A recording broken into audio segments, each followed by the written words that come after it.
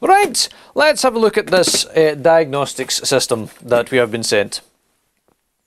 So, to preface, uh, Xtool, Xtool, I don't know if I have to do the X, but Xtool uh, contacted us after we did the review of the other diagnostic machine and said, can we send you a diagnostic machine for you to review?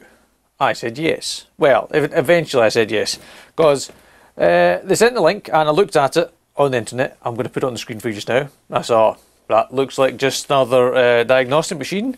I've got one. I don't see another reason why I would need another one. And then I saw the most important part bi-directional. Bi-directional. That is the bit that you chaps and chap S's were asking for was a diagnostic machine that does bi-directional, which is the actuation of actuators on the car, which this one does. So this one comes in a nice plastic box. Thank goodness, because uh, the other ones don't. They didn't come in a box. It didn't come in a nice plastic, no, a hard, a hard shell. At least this is, uh, it's David proof. I can do what I usually do and throw it in the back of the truck and I can swim about in the back of a pickup bed. Don't do that with your tools, folks. Don't, don't, don't be me. Don't be me. So, uh, what you get in your box is, oh, the diagnostic machine itself. I should say we're just going to look at it in here and then head out to the pickup and plug it in. Uh, diagnostic machine, and um, it's wired. This one, this one is a wired connection, and it came with well, wire, a OBD plug for plugging in your thing, some USB cables. In this slot was various USB charging adapters, but none were a UK plug, so that was a bit of a downer there. Not to worry, because as I said, it's uh, USB charged. Where is it? So that's your port for connecting the OBD cable. That's your USB charger. Now it's a micro USB. I would have expected USB-C on a 2022 version, but yeah, micro USB still works. It's a, well, it's a fairly rugged, it's a nice hard, hard, oh, of course it's hard, it's aluminium. What I meant to say, it's a nice metal framed uh, aluminium thing. It's uh, mostly just a big fancy Android tablet. It's got your, we'll go into the, the diagnostic part later, but it's got like an actual fully fledged uh, Chrome browser in it, which is nice for Googling all those problems. Your usual stuff like you can screen take screenshots of the screen and whatnot and all those other things and record the screen and things like that. And the main diagnostic bit that does all the diagnostic, like your special functions, obviously that's your key programming, electric seat thinging, all the brake reset, all the, you know, the usual 26 plus resetting things and the oil reset and all that kind of stuff. The bi-directional stuff is actually, well, it's vehicle specific. Obviously, you need to go into the vehicle that you're in and then you can turn things on and off. Um, I was going to say the updates, but as someone else, uh, the commenter left, the continual stream of updates, it's basically got updates all the time. This one won't have because I just updated it before I started the video. And also, I don't think I'm on the workshop's Wi-Fi in here. I am not on the workshop's Wi-Fi, that's why it's very slow. It's still trying to connect to the house miles away. But, right, lots of updates. There are lots of bits to faff with. We are definitely in English. We are working in metric. We've got... Uh, no, the firmware is part of the updates setting that it looks at. All the other doodads. Uh, there is instructions. Uh, I haven't read them because, well, what is it read? Press the diagnostics and away you go. So with that, important part, let's head out to the pickup then and uh, plug it in and see what it does. Ah, I should mention, uh, yes, it's wired, and the other one I've got is wireless, and uh, I'm kind of torn. I like the convenience of the wireless OBD adapter. You can just bang it in. But if you're like me and you have a penchant for forgetting to charge your diagnostics, when you plug it in to the OBD connector, it gives it power. So you can literally forget to charge it and then plug it in the OBD port and ta-da! It'll work anyway because you've now got power supplied by the car, which is nice. Right, let's go to the pickup this time. Onwards! Oh, it is not raining, and I am actually almost as surprised as you are that it's not raining. Obviously, I can only show you things on this pickup that it can do. I can't show you different detailed vehicle uh, things because I don't have access to all those vehicles. I only have access to a few. So one of these ends is a big end. That goes on the OBD OBD. Nope, nope, nope. Do not bend your pins, friends. Do not bend your pins. You will not enjoy it. Right, somewhere down here there's an OBD plug. Somewhere down here. Oh, I'm gonna have to go in manually. Uh. Ah. Right. That is in there. And jam that in the bottom. Or the top even, it's the top. Hold on. Also, you're going to need your keys in the ignition for this. With this not being wireless, uh, it's a wire obviously, it's a pretty short fucking wire if I'm honest. This, oh, you could, I, I would like this to be twice the length it is. Because if you think, if your diagnostic is in this hole, and you have to fish it out through the door and under the bonnet. On this pickup, this is only making that to like nearly that headlight near me. It could do with being a lot longer so you can be in here with this plugged in and have your diagnostic machine out in the engine bay when you're, well, actuating actuators so you can test and actuate at the same time. So a longer bit of wire uh, would be uh, on my list of uh, things to make this better. Can, can you see goddamn thing now. Ah, right.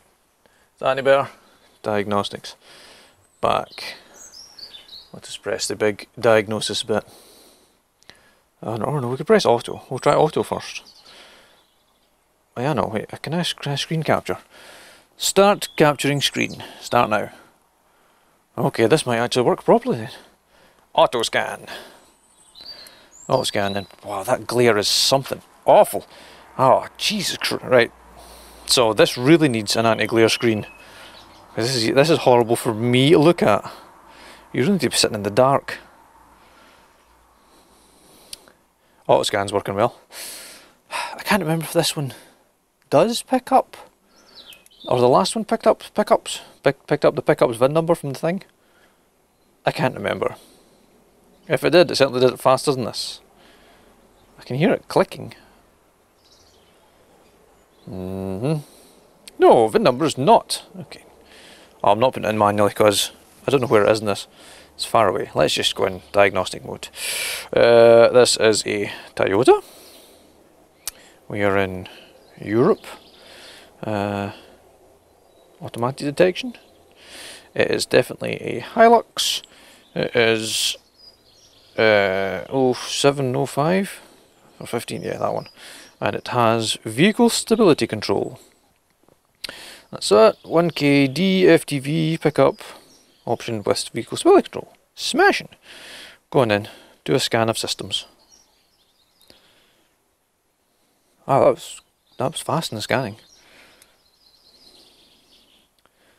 Hmm. Engine, two. I've got engine failure it says. Uh, diagnose? Diagnose. Okay. Read trouble code. Stall history of engine. Current stall history. Uh, I don't I don't remember stalling it, but sure. Okay. Let's uh, clear them then. Okay. Let's read them out. No trouble codes. Alright, live data. What live data can we get?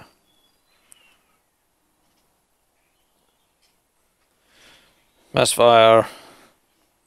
Heated catalyst, right, okay, there's so many, right, okay, you you know what the, there we go, let's have cooling temperature, at 42 degrees, yeah, because it's just running, air intake 73 degrees, mm, these are all lies, because it's not on at the moment. Right, okay, we know how all of this works. We can look at all that stuff. We want to see the actuation. Do we want to see the actuation test? The actuation of actuators. So what can we do in this? Activate swirl flaps. Turn the AC on and off. Test the turbocharger.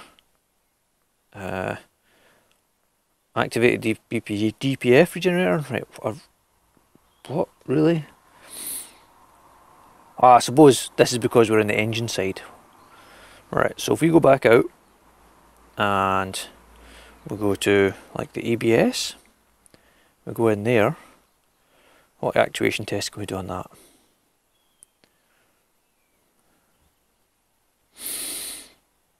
Okay, ah, we can turn lights in the dashboard on and off. Excellent, that means can actually show you doing things. Right. Uh, right, come in here, camera. Come in here, camera boy.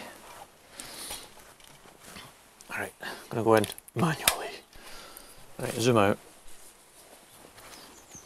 Okay, so on the right hand side of the dashboard are all of the lights. So I'm going to press brake warning light on the diagnostics. Uh, brake warning light, blah blah blah blah, come on and off. Uh, do not want to monitor data list. Brake light is off. Warning brake light is on. Oh, sorry, that's a handbrake one over there. Idiot. Off. On. Off. That's not a very exciting one. We want the ABS warning light. Yes, ABS. Don't want them there. So it should be over this side. Nope, that's off the other side. Jesus, I will get this right. Off. On. Off. On. See the thing? Right, there must be a fucking traction control once there. Traction control, Jesus Christ. Right, the traction controls are definitely on this side. Light is on. Light is off. Light is on. Light is off.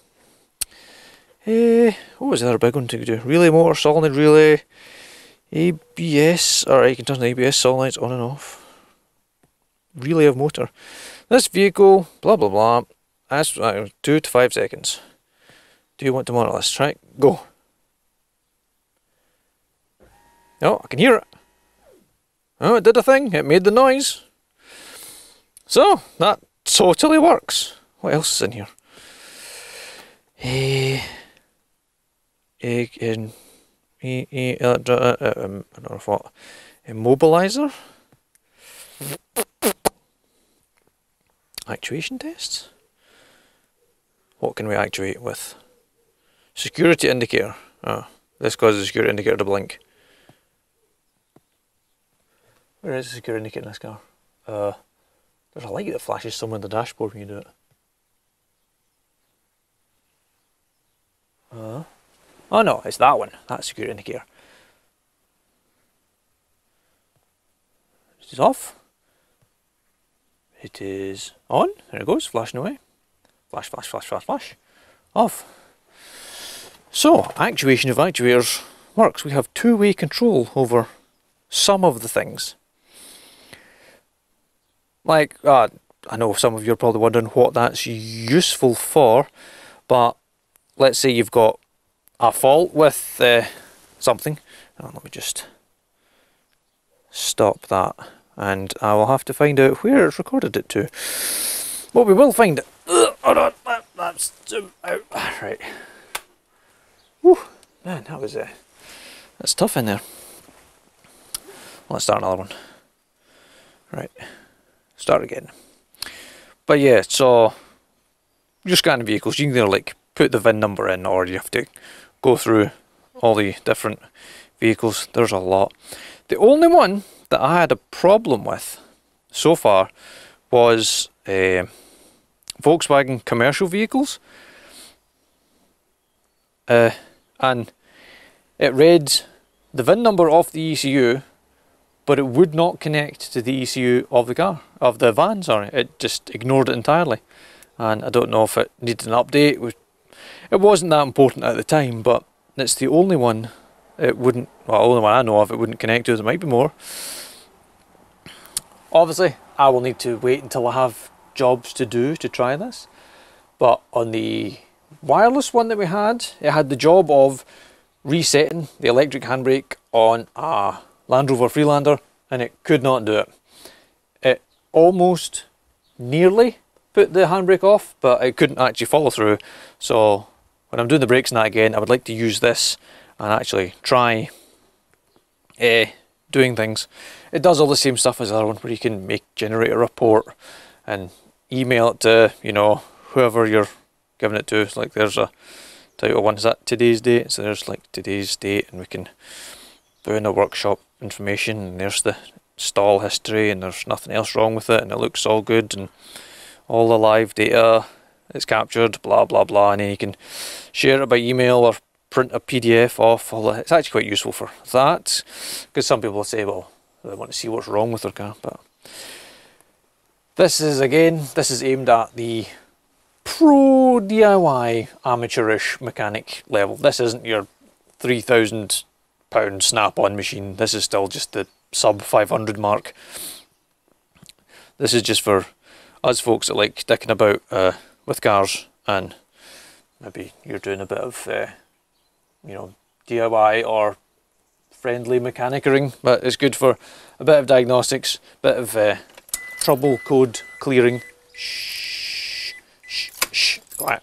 so far so far of the things I've had to do with this that's uh, well as you've seen it's just scanned and cleared as I said I want to test it out with more electronic handbrake stuff because that seems to be what most of my diagnostic machine time is spent doing is setting people's uh, electronic handbrakes but that I'll just need to wait until that happens.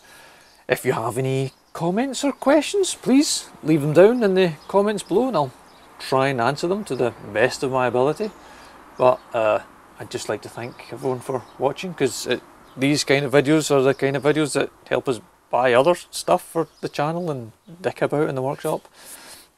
Anyway, thank you for watching.